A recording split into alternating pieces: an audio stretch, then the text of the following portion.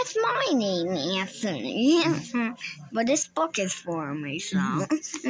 Anthony on the North Pole Express. To Anthony, Merry Christmas. Love from Auntie Nancy. To Anthony. Anthony sees a present wrapped up neatly with a bow. The label says his name, and the wrapping seems to glow. This gift is for me, cries Anthony with the biggest grin. He opens to look inside and suddenly falls in.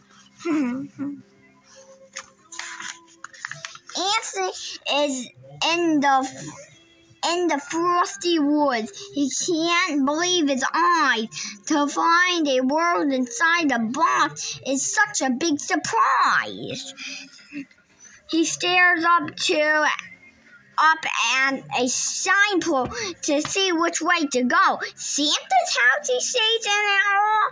He then runs through sparkly snow. Hmm.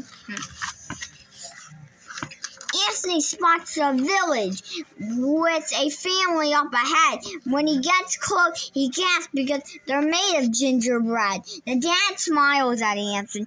You want Santa's house, he guess? You'll get there so much quicker on the old North Pole Express. S. is at the station when he spots a little elf. The elf tells him, I'm off to see Santa Claus himself. Anthony is so excited. I'm off to see him too, but I'm not sure which way to go. Can I come along with you? They hear a distant trucking sound.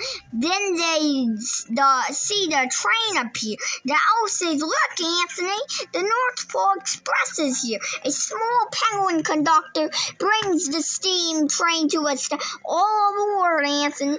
Come ride with me up top. Anthony has the best seat and and even better view. Snowy forest whiz by while uh, the chimney toots choo choo. Santa's house. they reach their destination. Anthony's full of cheer. The penguin blows his whistle, shouting, Hooray, we are here! Welcome, Anthony.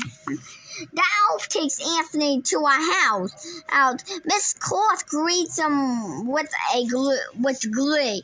I'm so glad you're here at last. Come in and sit with me. Wait, uh, okay. It's not. Anthony sips his hot chocolate. Warm cookies fill his plate. The elf says, Eat off, Anthony. We really can't be late.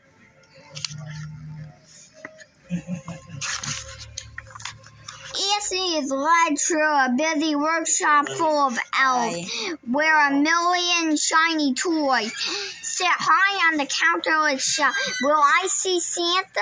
Anthony hopes. That would be so neat. The elf says, yes, that's why you're here. He really wants to meet. Ho, ho, ho, hello, Anthony.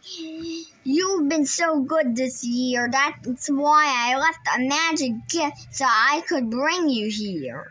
Yes, you wished to meet me. I made that wish come true, and now I have a special toy, one I made just for you. Anthony peeks inside the box, then quickly lifts his head, but he no longer sees Santa, but is back home instead. His trip has been amazing, a night he won't forget. And in the box is Santa's gift, a North Pole Express chain set. Anthony hop on board.